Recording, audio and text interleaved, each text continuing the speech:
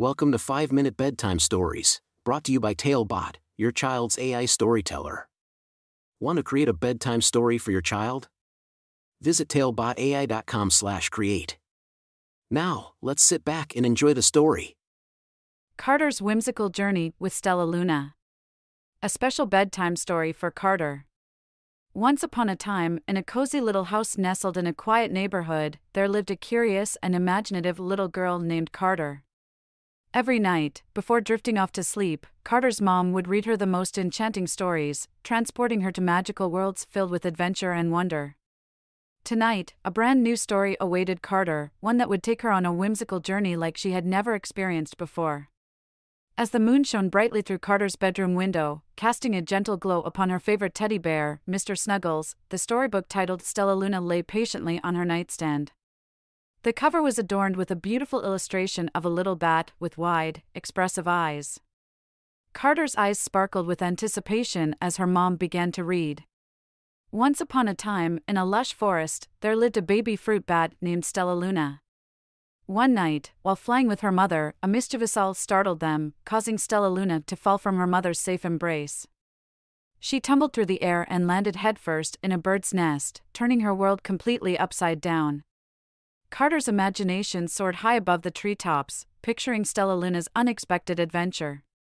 She imagined herself flying alongside Stellaluna, feeling the rush of wind against her face and the flutter of wings beneath her arms. The story continued, describing how Stellaluna adapted to the bird's nest and their peculiar habits, like sleeping during the day and staying awake at night. Stellaluna's new feathered family taught her how to eat worms, hang from branches, and even how to sing beautiful bird melodies. They became her friends, despite their differences.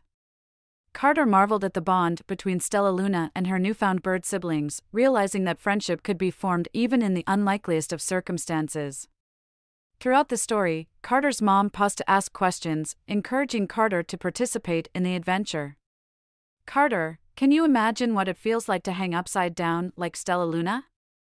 How do you think she felt when she discovered she could sing just like the birds? Carter giggled, her mind filled with visions of hanging from tree branches and singing with her newfound feathered friends. The story took her on a roller coaster of emotions, from moments of suspense as Stellaluna faced challenges, to moments of joy and laughter as she discovered her own unique abilities. As the climax of the story approached, Carter's heart raced alongside Stellaluna's. She discovered that Stellaluna's true family, the Bats, had been searching for her all along. These bats, just like Stellaluna, hung upside down, slept during the day, and flew at night.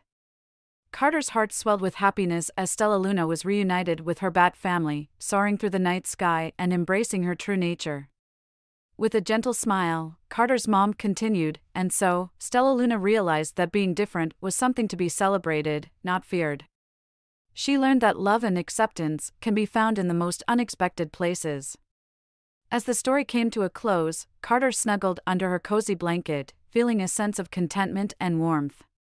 The moon outside her window seemed to shine a little brighter, as if it were applauding the beautiful tale that had unfolded. Carter's mom tucked her in and kissed her forehead, whispering, Good night, my little adventurer. May your dreams be filled with love, friendship, and endless possibilities.